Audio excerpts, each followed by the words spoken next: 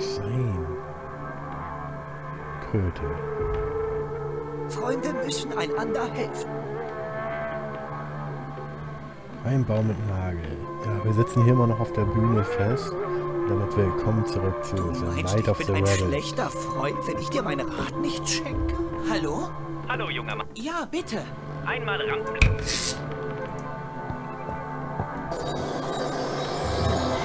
Ein schlechter Freund, wenn ich dir meine Rat nicht schenke? Die Kröte atmet ganz schön schwer. Kein Wunder. Sie ist ja ganz zugekleistert mit hässlichen Postern. Ich werde versuchen, die Zettel abzureißen. So weit waren wir schon. Aha. Ich werde dich zerquetschen.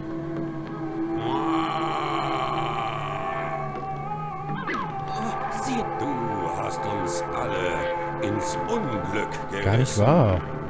Das war nicht Jerry, das war ausgenutzt. Du willst auf meinem Fahrrad, aber ich... Jerry war egal, was der Frosch sagte. Denn er war zu faul zum Laufen. Was? Aber so war das doch gar nicht. Nein, das war ganz anders.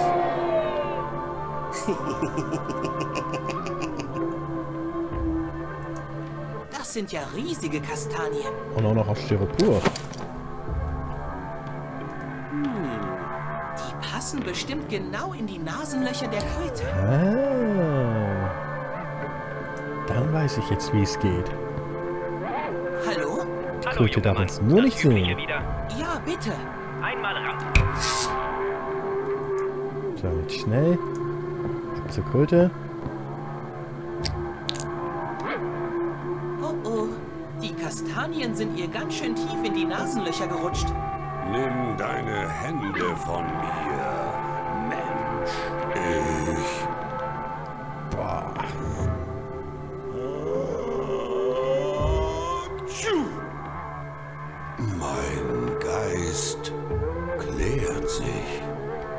Und warum hat er immer noch die, Kas äh, die bereit, die zerquetschen.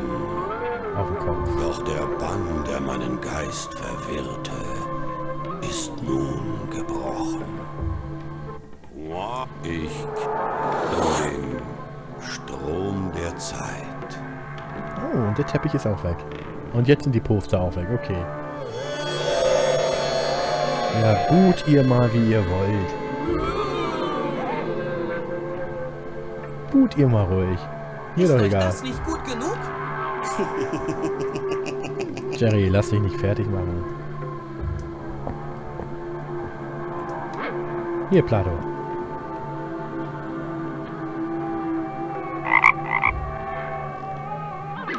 Jerry? Wo warst du denn? Wo ich war? Zuletzt waren wir drei in dem dunklen Tunnel. Und dann? Hauptsache ist, dass es dir gut geht. Das wollte ich auch gerade sagen. Nagel Nummer entfernt 1 die ist weg.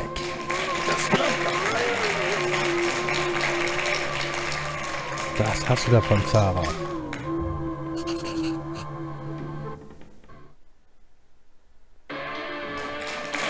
Hey,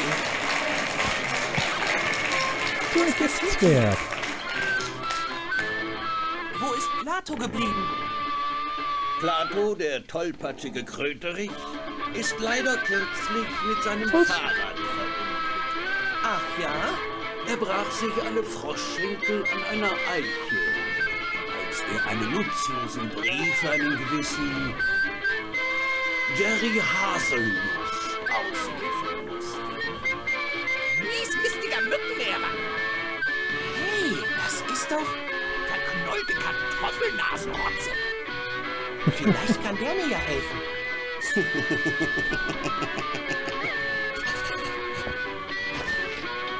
Der grimmige Mann in Grün. Erst wolltest du Wünsche und jetzt mein glitzerndes Gold? Nein. Hätte ich mir ja denken können. Und alles, was du tun musst, ist mir dein Leben zu geben. Hier auf der Bühne. Ähm, Jerry war sofort fest entschlossen, eben dies Nein. zu tun. Ende Das werde ich nicht tun. Aber Gold ist die stabilste Wertanlage, die es gibt. Schwachsinn. Hauch dein Leben. Das ist besser für alle.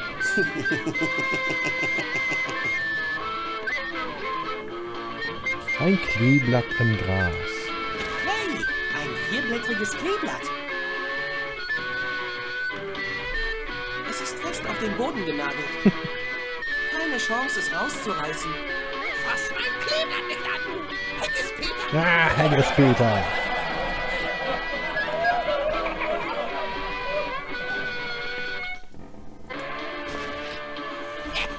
Erst wolltest du. Hätte ich mir... Okay, das kennen wir ja was Die Musik ist grausam. Irgendwie ist die zwar auch cool, aber... Hier auf der Bühne. Nee, nicht cool. Die ist einfach nur grausam. Hey!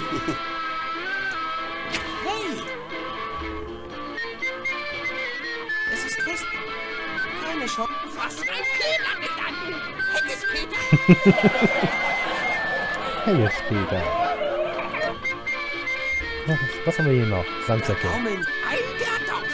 Das erinnert mich an den berühmten irischen Treuboxer Crondo McMash. Stark wie zehn Bullenmann. Der hatte auch immer Sandsäcke bei sich an der Decke zum Training. Doch da war kein Sand drin. Ach ja? Was dann? Zwölfjährige Jungen, die er im Wald Wow. Was haben wir hier noch? Ein Riss in der Landschaft. Komisch. Da ist ja ein Riss im Hügel. Der dumme Junge fühlte, wie er langsam verrückt wurde. Die Realität selbst schien in die Brüche zu gehen. Da Von wegen. ist auch was dahinter. Hm.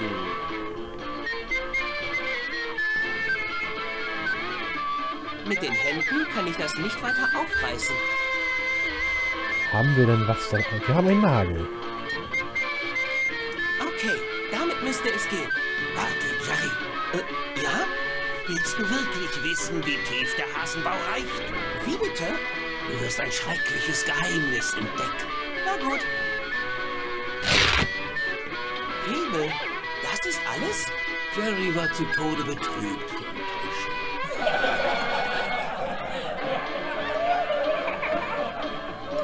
Da sehe ich auch noch ein Skript. Das sollten wir uns vielleicht auch mal durchlesen.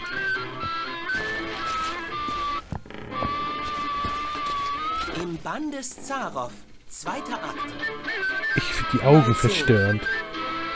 Jerry nimmt ohne zu zögern das Gold vom Kobold Nein. an und beendet dafür seinen aussichtslosen Kampf. Und hört auf zu leben? Nein.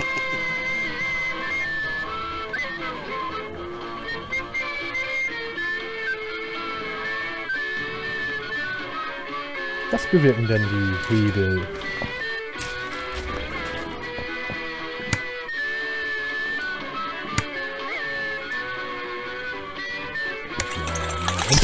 Hoppalala. Was war das? Eine Kursschwankung? Doch nicht bei Gold.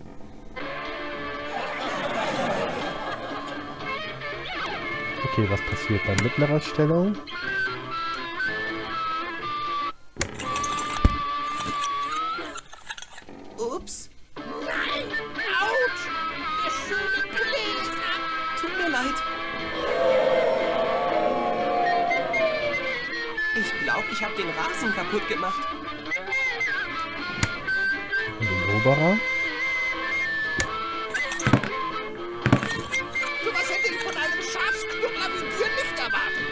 Der Tat.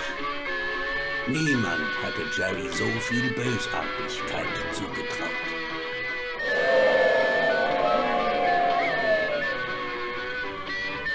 Aber Zwei Fliegen mit einer Klappe. Hätte sein mörderischer Plan funktioniert, besäße er das gesamte Gold. Und der modisch überlegene Zylinder des Kobolds wäre nur noch Geschichte. Zum Glück war ich auf der Hu.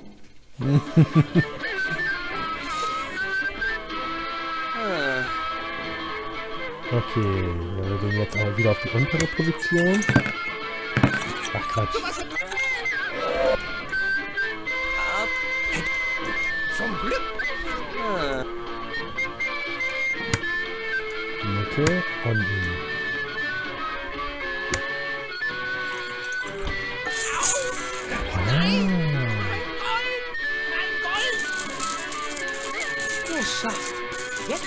An den Zylinder rankommen. Ha! Jerrys mörderische Falle schnappt zu und er stiehlt den viel schöneren Zylinder des anderen. Ich will doch nur den Z. Ach, egal. Dann sind sie halt ein dreckiger Dieb.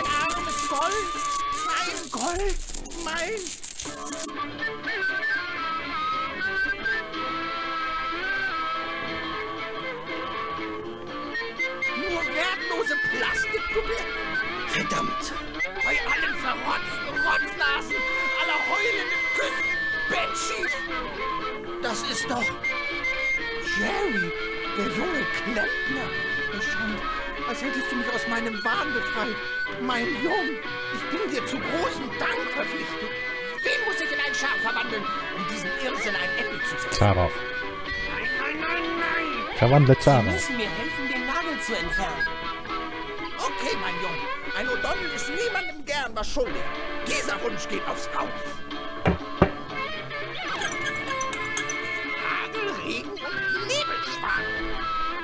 Danke, Mr. O'Donnell. Der Bann über mich ist gebrochen. Ich kehre heim. Ein O'Donnell ist für die Freiheit geboren. Merk dir das, du hässlicher Muschel. Genau, du Muschelhocker.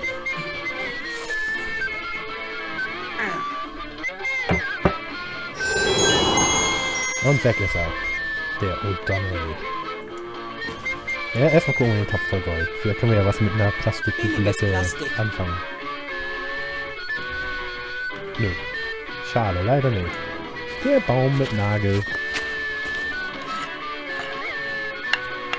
Damit haben wir den zweiten.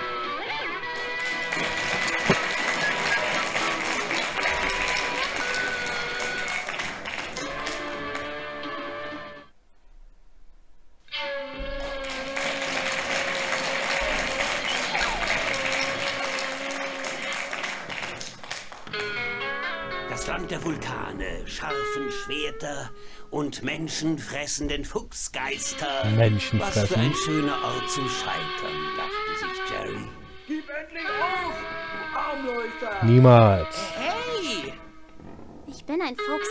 Ich schwöre es. Kitsune. Du bist gefangen im Körper eines Menschen. Keine Maske kann das verbergen, Kitsune. Aber Menschen und Füchse können niemals Freunde sein. Oh doch. Aber wenn ein Mensch einen Fuchs akzeptiert, wie er ist, zählt das nichts? Auch wenn das wirklich so wäre. Warum verwandelst du dich nicht zurück? Ich, ich hab's probiert, mich zurückzuverwandeln. Es, es klappt einfach nicht. Du magst es dir wünschen, ein Fuchs zu sein, aber dein Herz hat sich verirrt. Ich werde deine Ohren schützen vor den Verwirrungen durch die Menschen. Bitte hilf mir. Ich werde dich vom Menschsein heilen. Oder dich als Mensch verschlingen. Nein. Kitsune.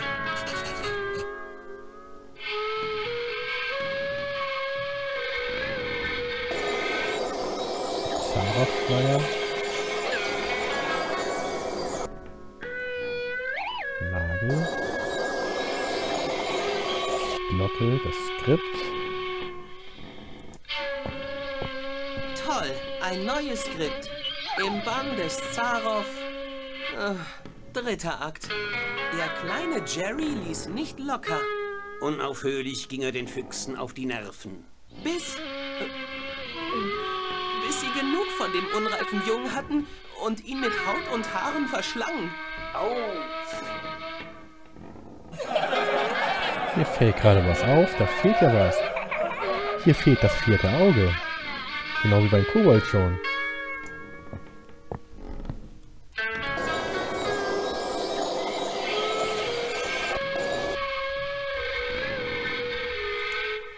Okay, mal die Glocke betätigen.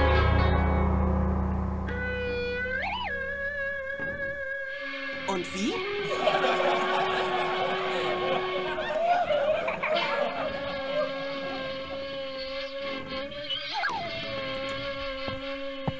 Okay, Fuchslist. Fuchslist klappt nicht. Kitsune! Sie hört mich nicht. Ein Mensch und ein Fuchs. Es gibt nichts, das sie und uns verbindet. Es darf nichts geben. Und selbst wenn, wir würden ihnen doch nur das Herz brechen. Ein Biss in ihr Fleisch oder ihre Seele. Das ist das Einzige, das uns mit ihnen vereinen darf.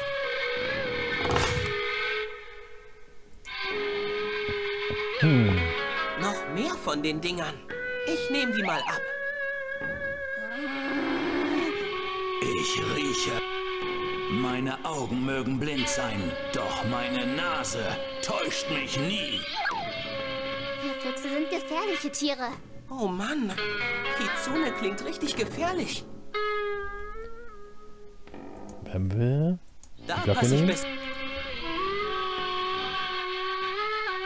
einen schwarzen Nacken, bronzefarbenen Nagel. Besser nicht. Besser nicht. Haben wir hier nur.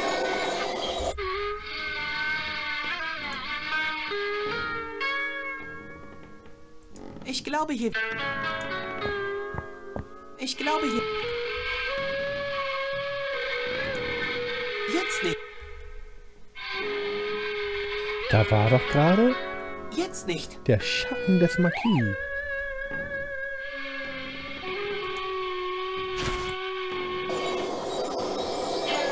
Da oben am Kopf ist auch etwas, aber irgendwie können wir das ja hier nicht aussu äh, auswählen. Wieder. Ein völlig un Ach, hör endlich auf. Meine Mama sagt immer, wer zweimal auf dieselbe Lüge hereinfällt, ist selber schuld. Der Wächter ist im Weg. Fass du den Nagel an. Beiße ich dir den Kopf ab. Versuch's doch. Ich bleib besser auf Abstand. Was haben wir noch? Felsflüstern, Ratersuch, Grün, Fuchsig, Hoffnungsschimmer. Nichts. Nichts. Die Glocke. Laut.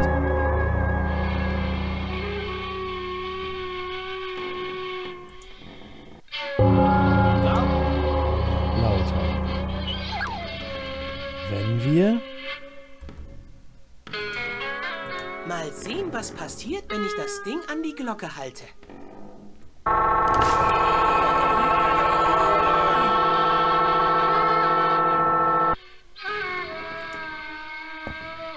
Alter. Ich riech. Meine Augen. Oh Mann. Du willst. Ich. will- Ich bin ein Fuchs. Du magst. Ich. Ja, ja, ja. Nochmal.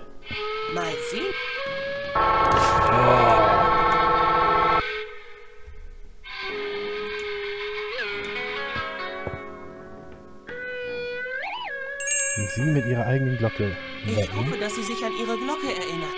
Oh, Kitsune! J Jerry?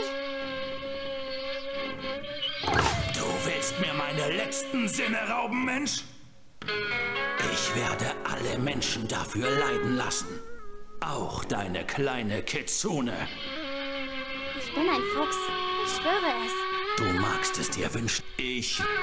Jerry! Schnell, Kitsune! Lauf weg! Du gehörst zu uns. Nein! Ich werde immer ein Fuchs. Hm.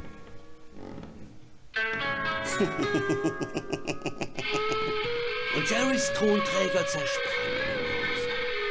Super! Der, Mist. er ist zersprungen.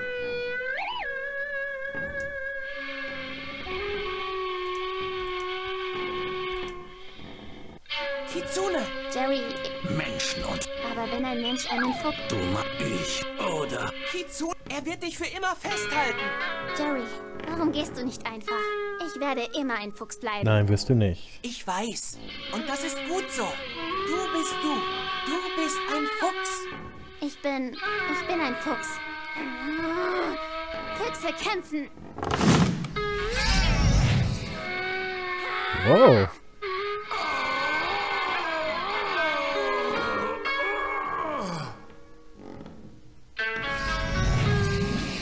Kleine Kitsune. Ich bin nur ein blinder Wächter.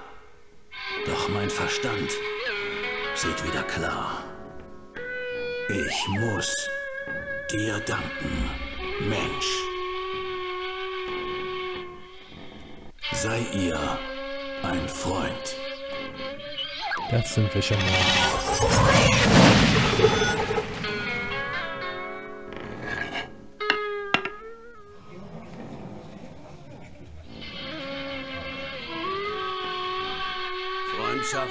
Entfernt den Nagel? Na, das glaubt doch keiner. Freundschaft entfernt den Nagel mal wieder.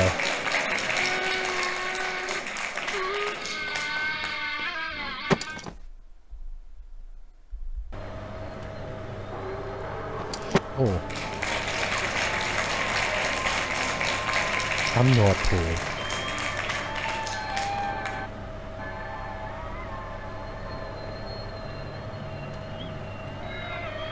Schneesturm.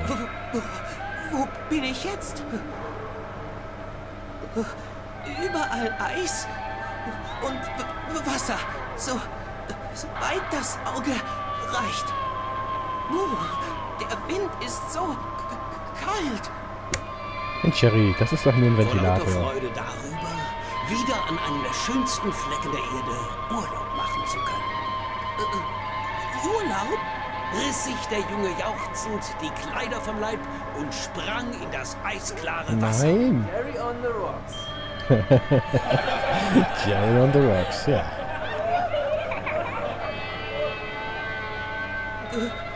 Langsam kriege ich das Gefühl, Sie mögen mich nicht besonders. Herr Hasen, ich muss Sie doch sehr bitten. Das Einzige, was mir am Herzen liegt, ist die Kunst. Ja. Aber du hältst dich nicht ans Buch. Ja, entschuldigen Sie bitte. Ich werde mich mehr be bemühen. Das will ich doch hoffen, du nichtsnutziger Amateur. Ganz schön freundlich. Wo waren wir? Mächtige Polwahl brach hinter Jerry Oh Mann. durchs Eis. Und mit mächtiger Stimme sprach er. Du hast dich tapfer geschlagen, bist bis zum Rand des ewigen Eises vorgedrungen. Doch der Kälte kannst du nicht standhalten. Es ist an der Zeit, aufzugeben, Auf keinen Fall. loszulassen. Lass dich mit mir in die kalte Dunkelheit unter dem Eis gleiten. Oh nein. Das werde ich nicht.